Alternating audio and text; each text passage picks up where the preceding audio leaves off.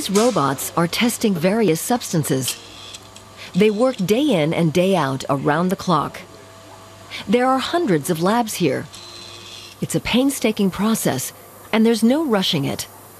It's a hands off operation.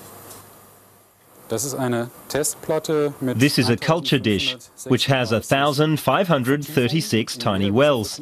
I don't have to count them, I know exactly how many there are. A biological experiment is being carried out in every single one of these wells. The entire process starts when we find a chemical molecule that we want to adapt. That's what's happening in these culture dishes. We're testing millions of substances, looking for a place to begin.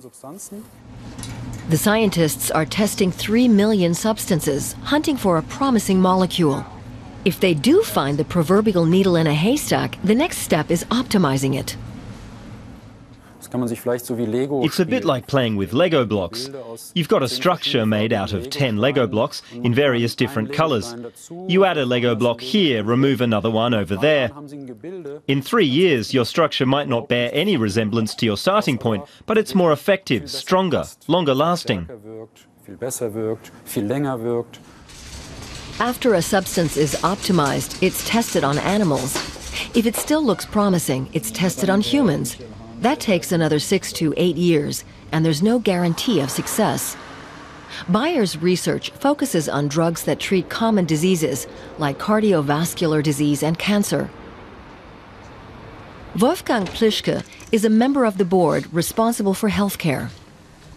The division has 55,000 employees and sales of 18 billion euros a year. Uh, we focus on areas where there's still a medical need.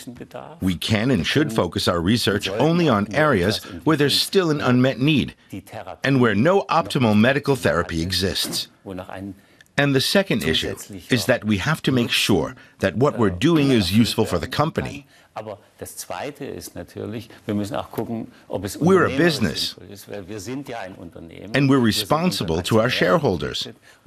So we need to focus on areas where we'll eventually make a profit, which we can then reinvest in research and development. Plischke knows that competition is stiff and a patent only lasts 20 years. That's not a lot when you consider that the patent begins when the drug is still in development. During those 20 years, the new product, the medication, has to establish itself as a therapy and a medical treatment. To make sure that happens, we invest in marketing the medication. We also provide education to physicians who need information about how to use the new drug therapy effectively. It's been a successful strategy for Bayer and for Helmut Haning, too. A new drug is a rare discovery, and Haning is one of the lucky few. When it went on the German market, I went to the pharmacy and asked them to show it to me. It was just so hard to believe. The other scientists hope they'll be lucky too, but only 1% of even the most promising substances will become a drug treatment in the end.